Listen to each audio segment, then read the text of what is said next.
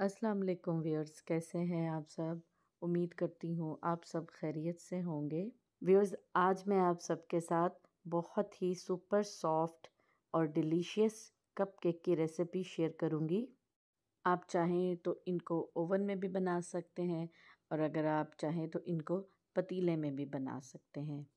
Viewers, मैंने in cup cakes को रेमकिन्स में बनाया है आप अपनी पसंद के मुताबिक घर में मौजूद नॉर्मल चाय के कप में भी बना सकते हैं या आप कप केक लाइमनर्स में भी बना सकते हैं। बहुत आसान और सिंपल सी रेसिपी है, जिसको फॉलो करते हुए हम घर पे ये मज़ेदार और सॉफ्ट से कप केक बना सकते हैं।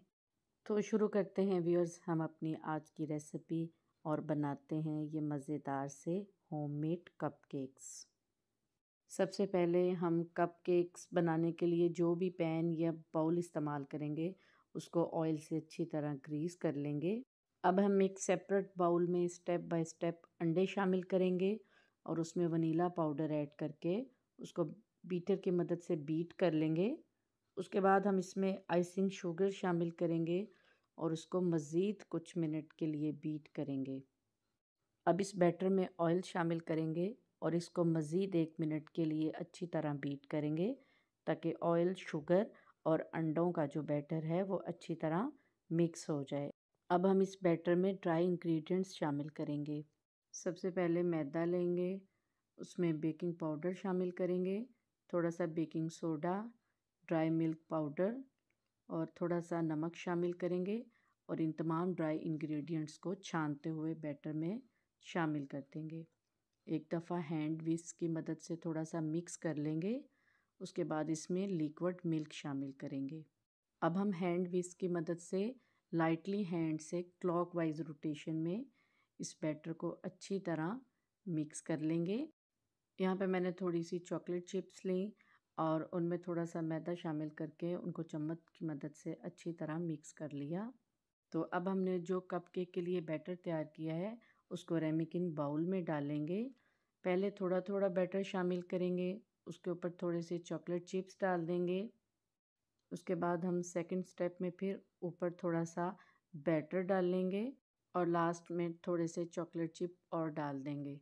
तो व्यूज़ यहाँ पे जो हमारे कप केक्स हैं, वो बेकिंग के लिए रेडी हैं। व्यूज़ जब तक मैंने कप केक का बैटर जो है रेमिकिन में डाला, तब तक मैंने अपने बेकिंग ओवन को 200 टेम्परेचर पर 10 मिनट के लिए प्री हीट होने के लिए ऑन कर दिया था।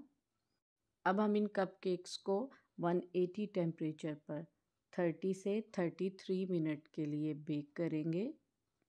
तो व्यर्स यहाँ पे आप देख सकते हैं कि जो कप केक्स हैं वो बहुत ज़बरदस्त से राइज़ हो चुके हैं और प्रॉपर बेक भी हो चुके हैं।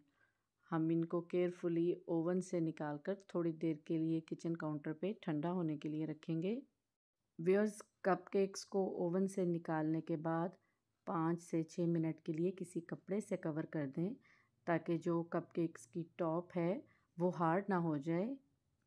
तो यहाँ पे कप केक्स अब ज़रा नॉर्मल टेम्परेचर में हो चुके हैं। हम इनको रेमिकिन कप से निकाल लेंगे और आपको दिखाएँगे। तो अल्हम्दुलिल्लाह आप देख सकते हैं कि ये हमारे होममेड कप केक्स कितने खूबसूरत बेक हुए हैं और इन केक टॉप पे भी कितना अच्छा सा कलर आया है। और ये इतने लाइट वेट कप केक्स हैं, बड़े सॉफ्ट सॉफ्ट से और फ्लफ़ी फ्लफ़ी से।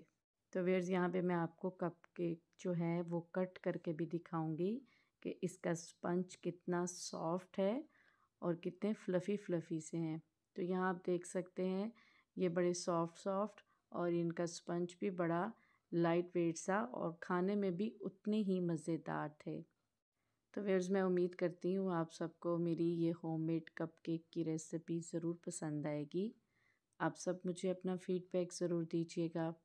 अगर आप मेरे चैनल पे नए हैं तो मेरे चैनल को भी सब्सक्राइब कीजिएगा। इन आप सबसे दोबारा मुलाकात होगी एक नई रेसिपी के साथ। तब तक अपना बहुत ख्याल रखिएगा। और मुझे अपनी दुआओं में याद रखिएगा। अल्लाह हाफिज़।